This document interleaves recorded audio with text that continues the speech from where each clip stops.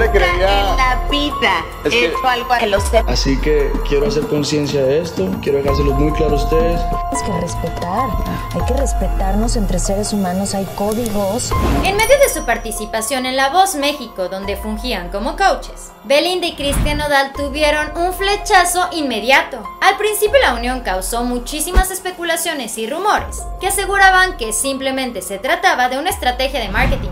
Con el paso de los meses, la pareja continuó andando y dieron la impresión de que ellos realmente estaban muy enamorados. Por casi dos años la pareja nos mostró detalles de su relación, fotos de sus viajes y de las celebraciones que tuvieron en familia, tanto con los Nodal como con los Peregrín. Tristemente esta relación terminó a un solo día de festejarse el Día del Amor y la Amistad. Muchas teorías y especulaciones comenzaron a surgir. Una de las versiones difundidas asegura que la madre de Cristian Nodal, la señora Cristi Nodal, no estaba complacida con el hecho de que su hijo le regalara demasiadas cosas a Belly.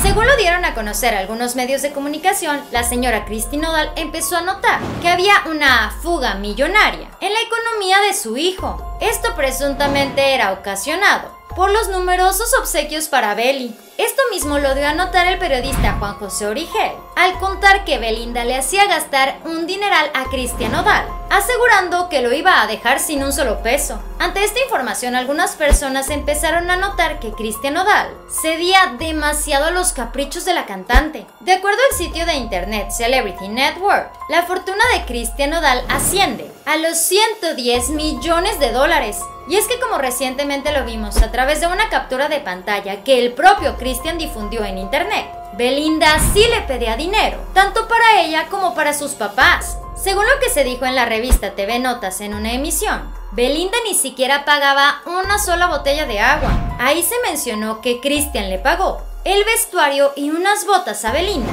para la serie de Netflix Bienvenidos a Edén. En agosto del 2021 la pareja viajó a Disney en Orlando, Florida. Ahí tuvieron un trato VIP. Eliminando las filas, ellos pagaron este viaje en aproximadamente 100 mil pesos. Y como lo mencionamos hace unos momentos, las botas que luce Belinda en la serie Bienvenidos a Edén están valoradas en 560 mil pesos. Para la sesión de fotos donde la pareja confirmó su noviazgo, la pareja vistió un conjunto Versace. El precio de este, más de 80 mil pesos. Christian también le dio a Belinda una perrita llamada Blue y otro cachorro llamado Cuatro. Y hablando de mascotas, también le dio un mono araña llamado Piaf. Las mascotas de Belinda estaban súper consentidas ya que lucían atuendos y accesorios de lujo de la marca Prada y Chanel. Cuando Cristian Nodal le propuso matrimonio a Belinda, para poder tener privacidad, él alquiló todo un restaurante, pagando alrededor de 25 mil euros. Y ni hablemos del anillo, el cual está valorado en más de 3 millones de dólares.